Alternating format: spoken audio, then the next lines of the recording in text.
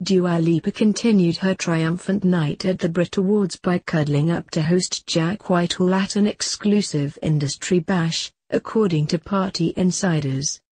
Following the ceremony at London's O2 Arena, the pair headed to a star-studded after-party attended by the likes of Rita Ora, Calvin Harris, and Holly Willoughby.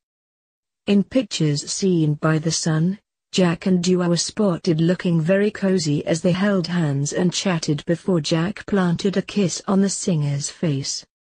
A guest at the Warner Bash told the paper there was obvious chemistry between the pair.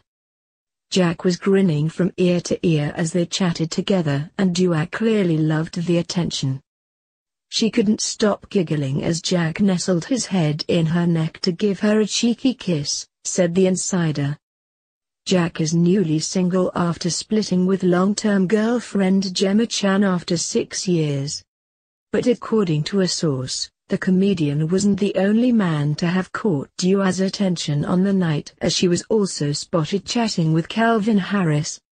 The New Rules singer was no doubt in a celebratory mood after winning two major awards on the night, as she became the most nominated female in Brits history. As well as performing, Dua walked away with gongs for British Breakthrough Act and British Female Solo Artist. Jack was also widely praised for his turn as host, even keeping his cool when an audience member threw a piece of rubbish at him. The comedian spent much of his time hosting poking fun at the star guests, and himself. One instance saw him quip that Olly was in the toilet tweeting about a fire on stage after a performance, referring to when the singer had tweeted from a department store about gunshots he thought he heard during an incident on London's Oxford Street in November.